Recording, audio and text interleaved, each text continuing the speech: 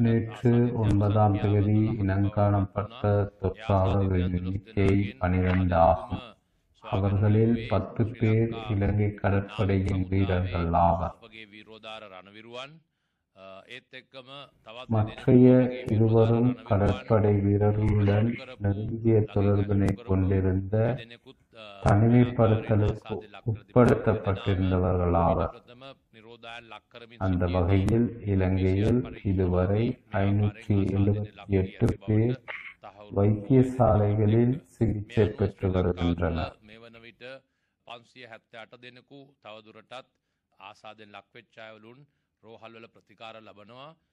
விசேடமாக இருநூற்றி ஐம்பத்தி ஒன்பது பேர் முழுமையாக சுகமடைந்து வைத்தியசாலைகளிலிருந்து வெளியேறியுள்ளனர்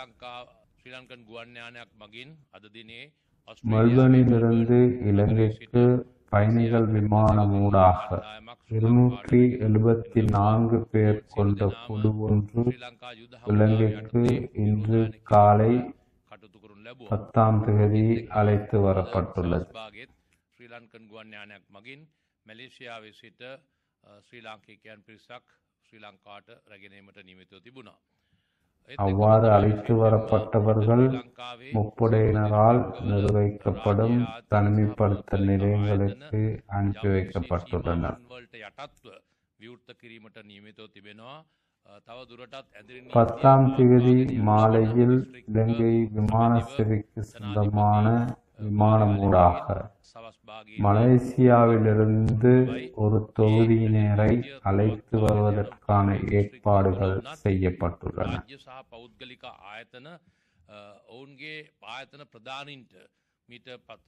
இலங்கையின் அனைத்து மாவட்டங்களிலும் நாளை பதினோராம் தேதி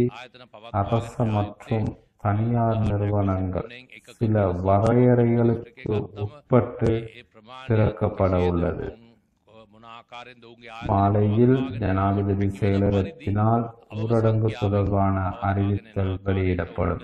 පසුගේ සති දෙක පුරාවටම මේ සම්බැධ උපදෙස් ලබාදීලා සැලසුම් කරගන්න කටුතු සලසා දුන්න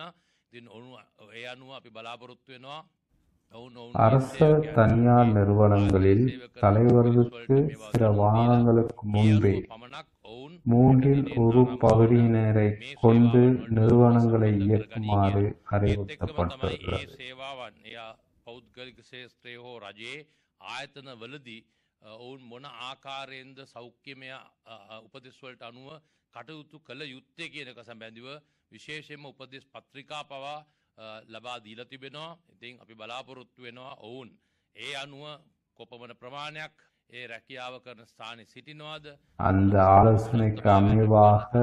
செயல்படுவார்கள் என எதிர்பார்க்கின்றோம் මාර්ගයේ ගමන් කරද්දි ප්‍රවාහන පහසුකම් භාවිතා කරද්දි මොන ආකාරයේ ශාරික දුරස්ථ භාවයන් රැකා බලාගෙනද අ, ඔවුන් ගමන් කළ යුත්ත පිළිබඳව அத்தோடு சேவையாளர்கள் செயற்பட வேண்டிய விதம் යුත්තේ சரீர இடைவெளிகளை பேணல் போக்குவரத்து மற்றும் එකම තමයි විශේෂයෙන්ම சகல சுகாதார அறிவித்தல்களை பின்பற்றல் தொடர்பாக සම්බන්ධ වෙද්දී தெரிவுபடுத்தப்பட்டுள்ளது පවතින ඒ ප්‍රදේශවල ජනතාවරින් යම් කිසි ක්‍රමවේදයක් හඳුන්නල දුන්නා ඔවුන්ගේ හැඳුනුම් පතේ අංකය අනුව අනිකුත් තමුන්ට ළඟ තිබෙන කඩේ ஊரடங்கு பிரதேசங்களில் முன்னர் அறிமுகப்படுத்தப்பட்ட அடையாள அட்டையை பயன்படுத்தும் முறையை பின்பற்றி பயணிக்க முடியும்.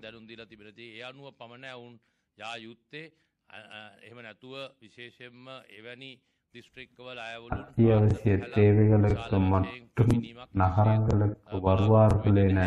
நாம் எதிர்பார்க்கின்றோம். ஸ்ரீலங்காவே பகுத்தர பிரதேச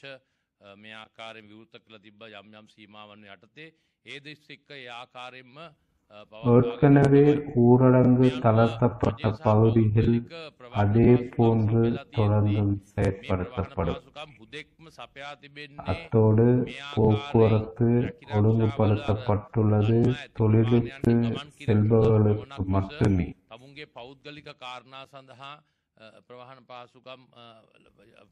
தனது தனிப்பட்ட தேவைகளுக்கு இவற்றை பயன்படுத்த வேண்டாம். என பொதுமக்களிடம் கேட்டுக்கொள்கின்றோம்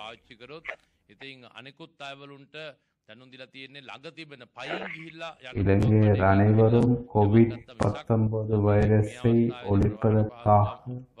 பெரும் வெட்டுக் கொடுப்புகளை செய்துள்ளனர்.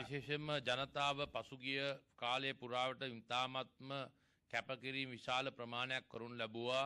මේ කොවිඩ් நாளை ஆரம்பிக்கப்படுகின்ற வாரத்தில் உங்களது நோக்கமாக